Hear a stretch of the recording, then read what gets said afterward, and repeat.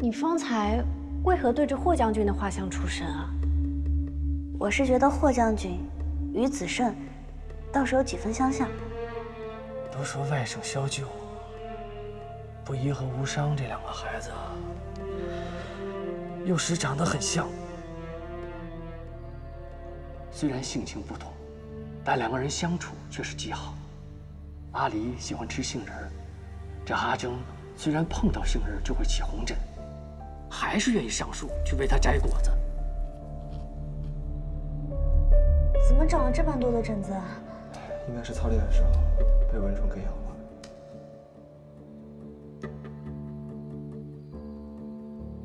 少商。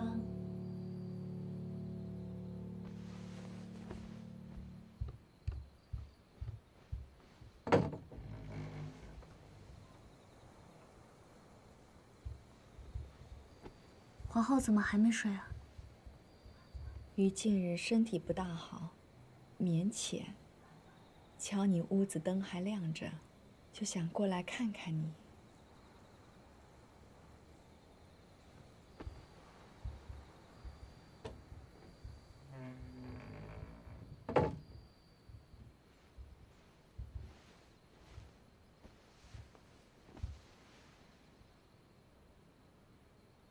皇后可是因为储君之事而烦忧？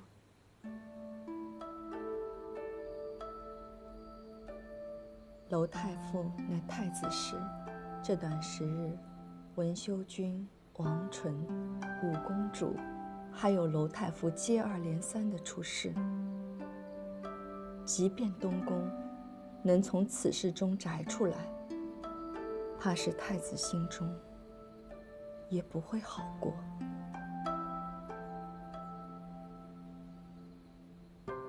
皇后，我偷偷离开都城，把楼奔查了出来，才会连累太子殿下。皇后不怪我吗？为何会怪你？你乖巧听话，雨怎会不知你心中的苦楚？其实。于心中，甚是敬佩你。若我当年也有你这般孤勇，或许也能救下我的阿父阿母。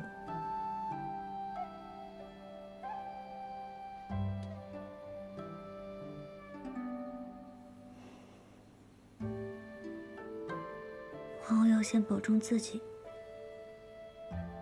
除了太子的事情，你还有好多事情都要操心。是啊，如今余只操心你与子胜的婚事。皇后，跟我说说子胜的事情吧。他的性子是一直这么清冷吗？我听闻说。他跟霍侯公子长得像，小时候大家都经常认错他们。像也不像。子胜小时候欢脱得很，而无伤总是沉默寡言，少年老成。只是后来出了那样的事儿，子胜就变得像无伤那样不爱笑了。其实，他有许多习性跟无伤像。圣上也曾问过他，他说，他要为死去的无伤活着，不能太自意了。唉，这孩子前半生过得太苦了。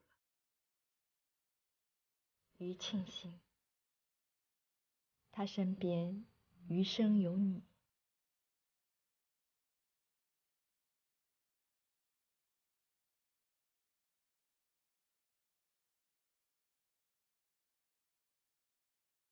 我也庆幸，他身边能有皇后。其实，子胜帮我们更多。不管发生何事，人总要往前看。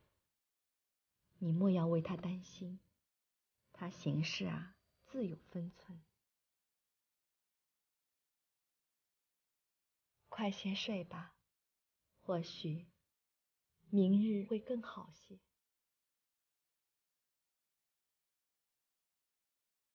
皇后，